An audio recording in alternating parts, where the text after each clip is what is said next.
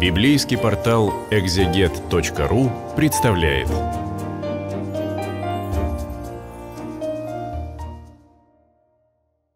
Здравствуйте, друзья! На библейском портале «Экзегет» читаем книгу Судей, шестая глава. С шестой главы начинается история судьи Гидеона. Гидон, его история, шестая, седьмая и восьмая главы. Прошло 40 лет после победы над Сесарой. Израиль опять впал в грех служения иным богам, грех идолопоклонства, стал делать злое пред очами Господа. Мы читаем, сыны Израилевы стали делать злое пред очами Господа, и предал их Господь в руки мадианитян на семь лет. Поработили эти мадианитяне, а кроме мадианитян еще другие были, мы сейчас прочтем. Тяжела была рука мадианитян над Израилем. Мадианитяне, ну, жили они там, где северо-аравийского полуострова сейчас, также Синайский полуостров. Вот те южные, э, южнее даже дома, те южные края, вот там они жили, кочевое племя. Тяжела была рука мадианитян над Израилем, и сыны Израилевы сделали себе, сделали себе от мадианитян ущелья в горах, и пещеры, и укрепления. То есть они вынуждены были от них прятаться, скрываться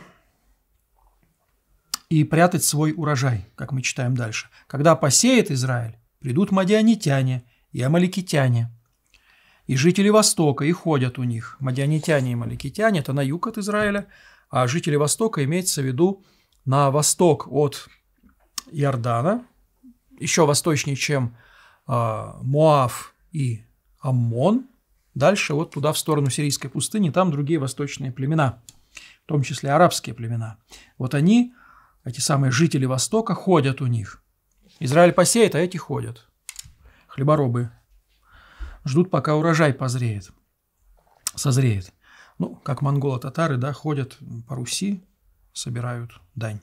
И стоят у них шатрами и истребляют произведения земли до самой Газы. Газа – это уже граница Египта это самый южный филистимский город, на берегу Средиземного моря, и не оставляют для пропитания Израилю ни овцы, ни вала, ни осла. Урожай отбирают или сжигают, скотину всю себе забирают, поэтому израильтяне вынуждены прятаться в каких-то горах, пещерах, ущельях вместе со своими стадами, может быть, с частью собранного спасенного урожая. Ибо они приходили со скотом своим и с шатрами своими, приходили в таком множестве, как саранча эти все племена кочевые. Израиль живет оседлой жизнью. Приходят эти кочевники, шатры свои ставят, поселяются. Они сильнее Израиля, как саранча, очень много. Им и верблюдам их не было числа, и ходили по земле Израилевой, чтобы опустошать ее. Верблюды. Они к тому времени, кочевники, уже э, ездили на верблюдах. Много было у них верблюдов. И весьма обнищал Израиль от мадианитян, и возопили сыны Израилевы ко Господу. Повторяется старая песня. А, грех, наказание в виде вражеского нашествия, порабощения, да? После этого они возопили ко Господу. Господи, больше так не будем, прости нас, спаси нас, защити нас. Возопили ко Господу, и Господь им пошлет избавителя. Читаем дальше, седьмой стих. «Когда возопили сыны Израилевы ко Господу на манитян, послал Господь пророка». Сначала пророка Господь послал. Не сразу приходит спасение. Послал Господь пророка к сынам Израилю. Имя это пророка, пророка этого не называется. И сказал им, так говорит Господь Бог Израилев. И дальше речь этого самого безымянного, анонимного пророка. Несколько в Библии пророков безымянных анонимных. Часто, иногда они называются э, людьми божьими, человек божий, Иш Айлухим. Здесь э, говорится Нави. Мы не знаем его имени, этого самого пророка, э, но он напоминает Израилю о тех благодеяниях, которым, которые Господь дал когда-то народу, выведя из египетского рабства, значит, и даровав благословенную землю. Так говорит Господь, Бог Израилев, обычное для пророка начало его пророческой речи. Возможно, вот это пророк и его речь – это уже здесь рука дефтерономического историка, то есть того историка, который в духе, в ключе второзакония значит, э, составлял всю вот израильскую историю. используя древние предания, древние рассказы, древние гимны, как, например, песнь Диворы, да, то, что называется дефтрономической историей. Дефтрономической историей главное, пожалуй, пожалуй, двигателями израильской истории являются именно пророки. Пророки вершат историю. Вершат историю Словом Господним. То есть сам Господь вершит историю Израиля через свое Слово, которое Он посылает через пророков. А цари уже должны реализовывать божественный план. Ну или судьи. Вот здесь послал Господь пророка. Что же говорит Госп... Э, пророк? Так говорит Господь, Бог Израилев. «Я вывел вас из Египта, вывел вас из дома рабства». Обычное обозначение Египта – дом рабства. «Избавил вас из руки египтян и из руки всех угнетавших вас, прогнал их от вас и дал вам землю их». При Иисусе Новине, Хана, Хананская земля, войны Господни. Вот она, земля обетованная когда-то – обетованная Аврааму, Исааку и Якову, теперь ей владеет, ею этой землей благословенной владеют потомки Якова, этой обетованной землей. «И сказал вам, я Господь Бог ваш, не чтите богов амарейских, в земле которых вы живете, но вы не послушали гласа моего». Боги амарейские – это боги хананейские. А, а, как э, хананеи иногда обозначают все семь хананских племен, так и амареями обозначаться могут тоже все семь хананских племен, а не только, собственно, племя амареев, амураим, а, амареев, в земле которых вы живете, но вы не послушали гласа моего. Эти боги, эти ваалы, эти астарты, эти вот все ашеры, все эти божества местных жителей – которых Израиль не до конца истребил, поэтому они были сетью для него, их божества. Израильтяне начали участвовать в культе, в культах этих самых местных божеств. Чаще всего эти, этот культ был связан с плодородием. «И пришел ангел Господень и сел в Офре под дубом». Где эта Офра точно находится, мы не знаем. Мы не, это неизвестно. А, этот дуб, а, это вот Офра, Значит, там священное древо, это дуб. В Библии много священных деревьев, или которые позднее были как бы освящены, посвящены Господу. Есть деревья, которые сакрализованы были нечестивцами, язычниками, идолопоклонниками. А, ашера, например, это столб деревянный или какое-то дерево. Вот. А бывают такие хорошие священные деревья, которые связаны с культом Господа, Бога Израилева. Вот здесь непонятно, потому что дальше будет, будет происходить интересное событие в конце этой главы, а, где Гедеон будет, даже в середине этой главы, где Гедеон будет а, разбираться с деревьями, жертвенниками Ваала, вот, то, тоже ли это самое святилище, что под Офрой, не пон... тоже, тоже ли самое культовое место, не совсем понятно. Но вот сидел ангел Господень, сидел, не стоял, а сидел. Ангел Господень – это не пухлые младенцы с крылышками, как в барочных храмах, а это грозные воины обычно. И ангел – это посланник, вестник. Может быть, это просто человек, Никаких крыльев у него нет. Вот человек может быть ангел, которого послал Господь. Ангел может быть человеком, которого послал Господь. Может быть и с небес ангел. Вот. Об этом ангеле говорится дальше. Он сел в Офре под дубом, принадлежащим Иоасу, потомку Авиезерову. Сын его Гедеон выколачивал тогда пшеницу в Точиле, чтобы скрыться от мадианитян. Выше мы читали, что где-то в ущельях, в пещерах израильтяне скрываются. Вот здесь гумно, где-то на пригорке, да, дуб там, вот там это э, гумно, ну, точило это больше связано с давлением винограда, но где точило, там и гумно часто располагались рядом. Вот здесь он выколачивал не на гумне почему-то, а в точиле. То есть, видимо, а, тоже было такое действие, чтобы, ну, а, тайное действие, секретное, чтобы не вот эти мадианитяне не догадались, оккупанты. Выколачивал тогда пшеницу в точиле, чтобы скрыться от мадианитян, взять эту пшеницу и унести туда, вот в эти самые ущелья, пещеры, где скрывались израильтяне. Явился ему ангел Господень, тот самый, который сел в Офре под дубом, явился и сказал, «Господь с тобою, муж сильный». Гибор, сильный. А, Гидон здесь вот имя, да, Гидеон. Гидеон а, значит, ну тут от глагола «рубить» или «колоть», деревья, например, рубить, да, ну, он такой, можно перевести это имя как рубщик или рубака, рубака парень, рубит, вот Гедеон, выколачивает пшеницу, он, значит, это время, конец весны, начало лета, время такое пасхальное, время даже ближе к Пятидесятнице, Пятидесятнице, Шавуот, то есть начало лета. Гедеон сказал ему на это, он его приветствует, ангел говорит, называет его сильным мужем. Гедеон на это ему говорит, «Господин мой, если Господь с нами, то от чего постигло нас все это?» вот Я вот тут пшеницу выколачиваю, чтобы как-то спасти хоть хотя бы часть урожая от этих прожорливых оккупантов мадианитян. У меня семья, а, соплеменники, мои родственники. Мы терпим бедствие от этих оккупантов. Вот, скрываемся где-то, урожай свой скрываем. Почему же ты говоришь «Господь с тобою»? Ангел же приветствует «Господь с тобою, муж сильный». Обычное такое, казалось бы, приветствие, но он, Гедеон, наверное, не понимает, что перед ним ангел, посланник Божий, думает просто человек какой-то. От чего постигло, говорит, нас все это? И где все чудеса его, о которых рассказывали нам отцы наши, говоря, из Египта вывел нас Господь?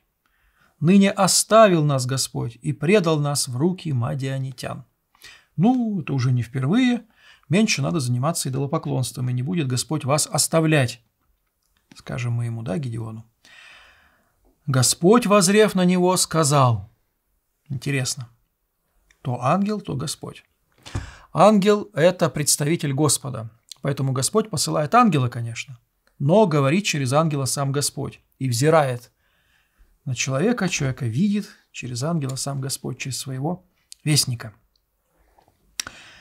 Э, посланника, иди с этой силой твоей и спаси Израиль от руки мадианитян, я посылаю тебя. Гедеон был человек авторитетный, зажиточный, у него, он мог собрать ополчение в своем э, колене.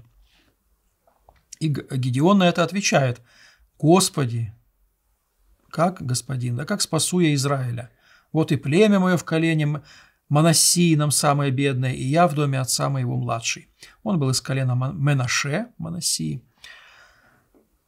Два колена братских, Менаше и Ефраим, от э, колена Иосифа. Колено Иосифа разделяется на два колена, Менаше и Ефраим. Ефраим и Менаше. А, племя, говорит, у меня небольшое, сам я тоже так, так себе начальничек. И сказал ему Господь, «Я буду с тобою, и ты порази, поразишь мадианитян, как одного человека». Господь не взирает на лица, на вес человека в обществе, на значение его клана семейного, к которому человек принадлежит. Господь видит, будет ли способен человек исполнять его волю. Немощное мира избрал Господь, чтобы посрамить сильных, будет сказано в Новом Завете. Гедеон не самый сильный, не самый богатый, не самый э, весомый в обществе человек. И ему говорит Господь, как одного человека их поразишь? Одного человека поразить легко, а вот это полчище мадиамское, это с амаликитянами, как саранча, попробуй-ка их порази. Но с Господом всегда победа. Победа от Господа будет дана. Поэтому даже Гедеон, незначительный человек, как он исповедует, сможет одолеть. И сказал ему, как одного, да, 17 стих, Гедеон сказал ему, если я обрел благодать пред очами твоими, то сделай мне знамение, что ты говоришь со мною. Ты говоришь со мною. Ну, кто-то же говорит с ним. Он, э, Гедеон начинает догадываться, что это ангел, и с ним через ангела говорит сам Господь, сам Бог. И требует знамения, просит точнее знамения. Ну, это нам напоминает, э, напоминает нам историю с э, Моисеем, Моисей тоже просил, э, вернее, он не просил знамения, а говорил, ну как вот я, что мне сказать, какое имя твое, кто тебя послал? Вот. И были даны знамения, которые Моисей должен был продемонстрировать перед своим народом в Египте. Вот здесь а, Гедеон просит знамения, дай мне знамение.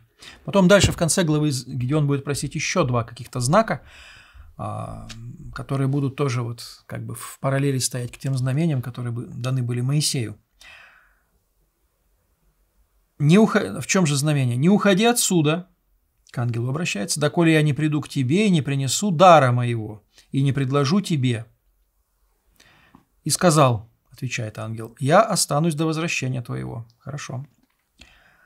Гедеон пошел и приготовил козленка. Лучшее угощение готовит. Бедствие. Он берет самое лучшее, может быть, последнего козленка, кто знает. Приготовил козленка и опресноков из ев и муки. Ефа мера сыпучих тел. Мясо положил в корзину, а похлебку влил в горшок и принес к нему под дуб и предложил. Значит, дело происходит там, в этой офре, под священным дубом. И сказал ему ангел Божий, возьми мясо и опресноки, и положи на сей камень, и вылей похлебку. Он так и сделал. Офра, дуб, точила, гумно, является ангел, камень там какой-то, похлебку ставится с вот этот суп, марак, ставится, а и мясо кладется на этот самый камень. И вливается похлебка, да. Он так и сделал. Ангел Господень простер конец жезла, какой-то жезл у него был. Жезл это что такое? Ну, это пастушеский посох. Вот мы привыкли, жезл такое старинное слово. Просто палка пастушеская. Без всяких там набалдашников. А это просто пастушеский посох. Э, конец этого посоха простирает. Прикоснулся к мясу и опреснокам, и вышел огонь из камня, и по э, поел мясо и опресноки, и ангел Господень скрылся с глаз его. Огонь, все это сгорает, а, и ангел Господень восходит в пламени, в дыме. Это не раз так происходит. Исчезает, скрывается от глаз Гедеона. И увидел Гедеон, что это ангел Господень. Теперь он убедился, что это ангел Господень, посланный, значит, Господом. И сказал Гедеон, «Увы мне, владыка Господи, потому что я видел ангела Господня лицом к лицу. Встретиться с ангелом Господним – это все равно, что встретиться с самим Господом. Господь есть огонь поедающий, встретиться с ним смертельно опасно, и люди, а, встреча с Господом, а, ввергают человека в страх и трепет, в то, что называется религиозным чувством, благоговением – на кого я презрю, говорит Господь, на трепещущего пред именем моим. Харедим, трепещущих пред именем моим. Господь сказал ему, вот он уже, видимо, с небес говорит, потому что вошел, стал, поднялся с глаз его, да, Господь сказал ему, ангел, а, Господь через ангела, «Мир тебе, не бойся, не умрешь». Вообще-то встреча с Богом для человека смертельна, но Господь милосерден, и поэтому – а, человек, человеческая жизнь сохраняется при встрече с Господом, а, потому что Господь человека жалеет и не уничтожает его во время этой встречи. Частая история. Куст горит и не сгорает при Моисее. Другие всякие там явления ангела Иисусу Навину, другим важным людям это всегда человека ввергает в ужас. И, и, и помним, вспомним богоявление Исаия, 6 глава Исаии. Да, «Горе мне, — говорит Исаия, — я человек грешный, живу среди, с нечистыми устами, живу среди народа с нечистыми устами, а я видел Господа Саваофа». Славу Господню он видел, богоявление ему было. Вот, всегда встреча с ангелом, встреча с Господом вергает человека в священный религиозный страх и трепет. И здесь он вынужден ободрять ангел Гедеона говорит, не бойся, не умрешь. Надо Бога бояться, тогда не умрешь. Тот, кто боится Бога, больше никого не может бояться. Тот, кто является рабом Божьим, ни, ничем более рабом быть не может. И устроил там Гедеон жертвенник Господу и назвал его, дальше тетраграмма, Юд, Гей, Вав, Гей, и слово Шалом. Господь мир. Господь мир. То есть мир, не умрешь, не бойся. Он устраивает там жертвенник. Вообще построено по такой известной нам схеме, этот рассказ построен. Схема такая. Богоявление, то есть явление ангела. Потом а, э, этот ангел сообщает весть о спасении, он же вестник, что будет спасение. Вот здесь, например, это говорится, что вот ты всех мадианитян как одного человека поразишь, потом ну, через это будет спасен весь народ. И дальше, после этого богоявления, освящение культового места, его сакрализация. Вот был дуб, была офра, был этот камень, да, И он там строит Гедеон жертвенник. Все это напоминает нам рассказы из книги «Бытия», где происходит богоявление. Праотец или патриарх слышит какое-то слово Господне, спасительную божественную весть. Это место освещается. Помните, как Иаков говорит, да? Это дом Божий, там врата, врата небесные и так далее. И выливает елей на камень. Вот. И такое не раз происходит со многими местами, с камнями, а, с, с местами, которые были обычные, профанные, стали святыми, сакральными, культовыми местами. Почему? Потому что там было богоявление и была весть о спасении. Вот здесь эта традиция патриархов, традиция правцев продолжается Гедеоном. Он строит жертвенник из камней. Ну, и при, для чего жертвенник? Для того, чтобы жертву приносить. И дальше мы прочтем ну, здесь такая вставка священного писателя, он еще до сего дня в Офре Авиезеровой. То есть к, тому времени, когда книга судей была составлена, в это время еще э, этот жертвенник, наверное, уже не функционировавший, до сих пор находился в Офре Авиезеровой.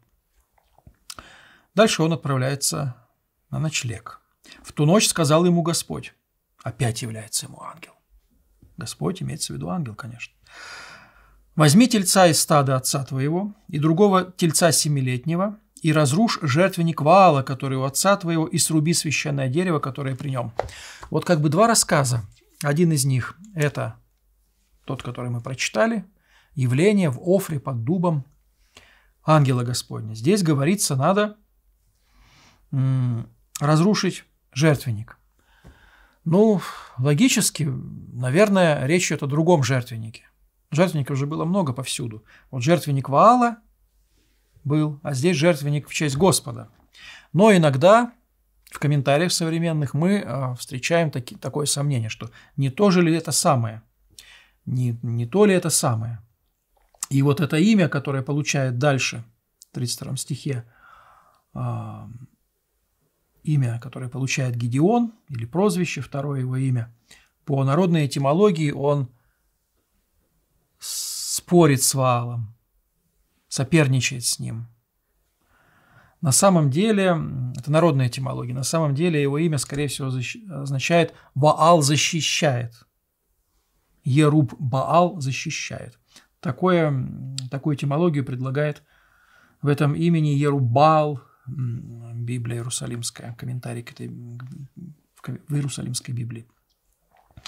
Вот. Но все-таки Большинство древних комментаторов средневековых считают, что это все-таки два разных жертвенника. Говорится, возьми тельца из стада отца твоего другого тельца семилетнего, разрушь жертвенник Ваала, который у отца твоего, и сруби священное дерево, которое при нем. Ваал, при нем часто при Ваале была Ашера. Ну, у Ваала же должна быть жена. Вот это Ашера. Ашеру часто отождествляется со стартой Ашера. Э, ее репрезентация, ее представительство, представ...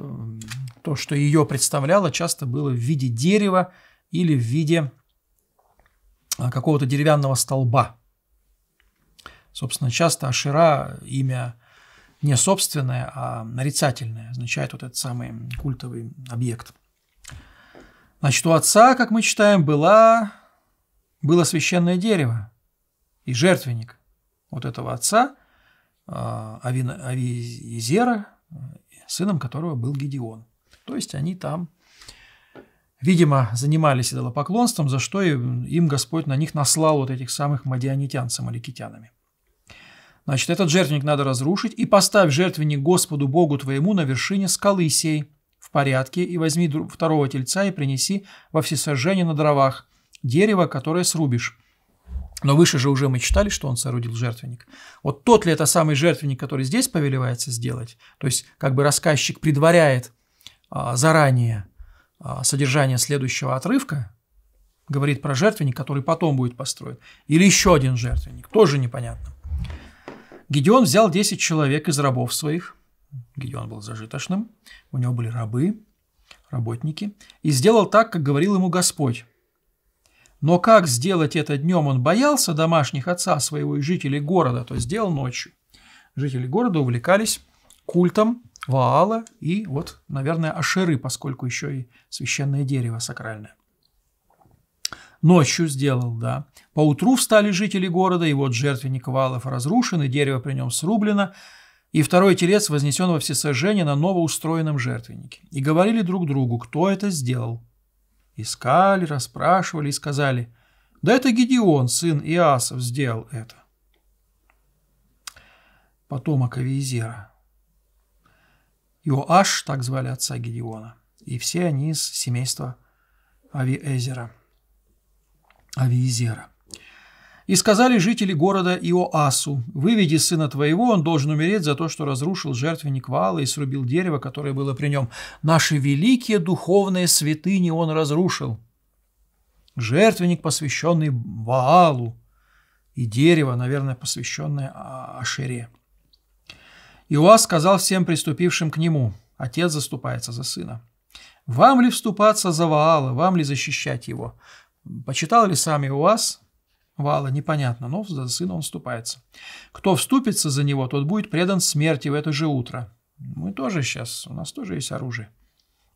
Если он Бог, имеется в виду Вал, то пусть сам вступится за себя, потому что он разрушил, он, Гедеон, разрушил это его жертвенник, жертвенник Вала.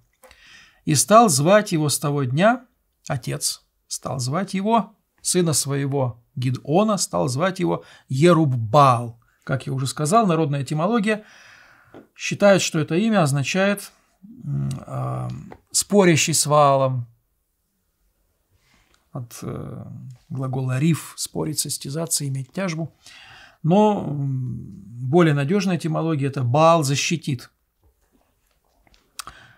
Пусть Ваал сам судится с ним за то, что он разрушил жертвенник. Вот. Здесь приводится как раз народная этимология.